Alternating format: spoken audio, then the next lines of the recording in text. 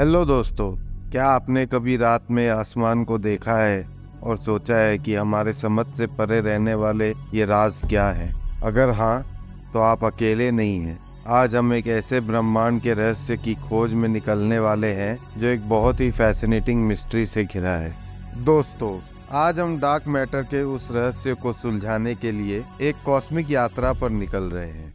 लेकिन इस रोमांचक यात्रा पर जाने से पहले सब्सक्राइब बटन दबाना ना भूलें और नोटिफिकेशन बेल को भी ऑन कर लें ताकि आप तक हमारी हर वीडियो पहुँच सके।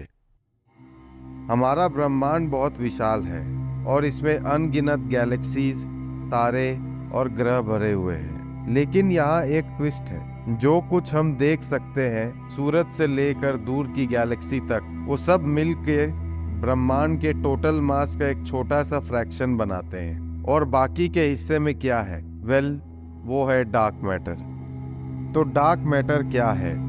यह एक इनविजिबल कॉस्मिक ग्लू है, जो गैलेक्सी को एक साथ रखता है।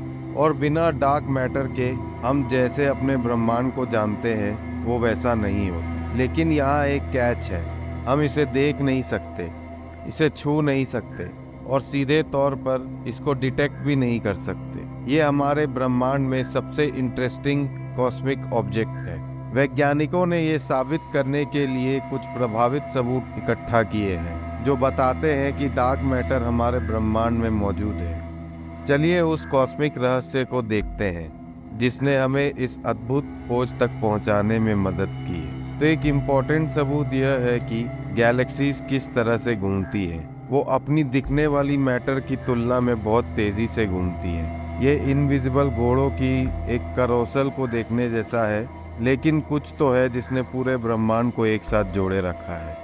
हमारा दूसरा क्लू छुपा है ग्रेविटेशनल लेंसिंग में। ये एक ऐसी प्रक्रिया है जहाँ एक न दिखने वाली मास की ग्रेविटी दूर की चीज़ों से आ रही लाइट को डिस्टॉर्ट करती है। इसे ऐसे समझ सकते हैं कि आकाश में एक इनविजिबल लेंस है जो ब्रह्मांड के रहस्य को मैग्नीफाई करता है। तो अब जब हम जानते हैं कि डार्क मैटर एग्जिस्ट करता है तो इससे एक बेहद ज़रूरी सवाल जन्म लेता है कि अब हम इसे कैसे ढूंढ सकते हैं। वैज्ञानिकों ने इस कॉस्मिक मिस्ट्री को ढूँढने के लिए कुछ आकर्षक यात्राएँ की हैं। उन्होंने अल्ट्रा सेंसिटिव डिटेक्टर्स बनाए हैं ज़मीन के अंदर, जो डार्क मैटर पार्टिकल्स के रेयर इंट्रैक्शंस को पकड़ सकते हैं। ये कॉस्मिक गोस्टबस्टर्स की तरह है, जो इस कॉस्मिक एनकाउंटर को देखने के लिए धैर्य से इंतज़ार कर रहे हैं।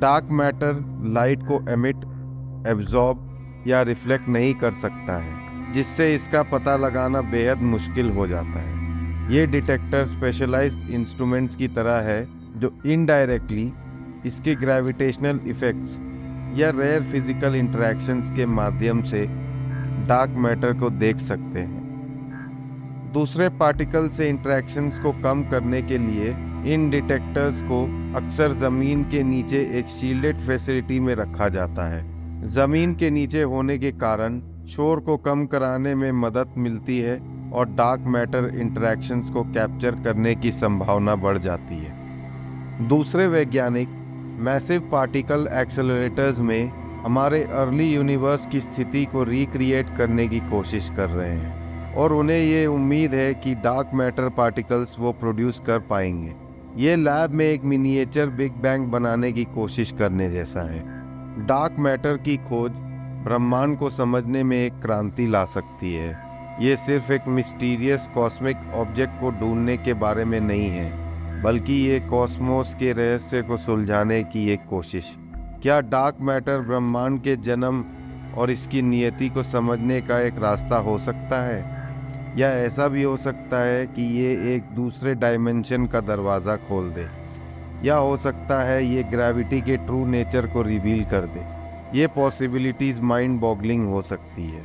चलिए अब हम इस कॉस्मिक जर्नी को एंड करते हैं और याद रखें कि ब्रह्मांड रहस्यों से भरा हुआ है, जो खुलने के लिए तैयार है। डार्क मैटर हमारे विशाल ब्रह्मांड का सिर्फ़ एक छोटा सा टुकड़ा है।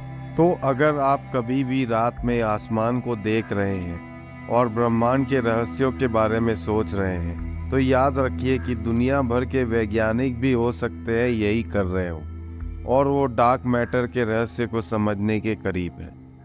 अगर आपको ये वीडियो इन्फॉर्मेटिव लगी तो लाइक बटन को दबाना ना भूलें और इस वीडियो को अपने दोस्तों के साथ शेयर ज़रूर करें। तो अगली बार तक आसमान को देखते रहिए। क्योंकि ब्रह्मांड के पास हमारी कल्पना से भी अधिक वंडर्स हैं।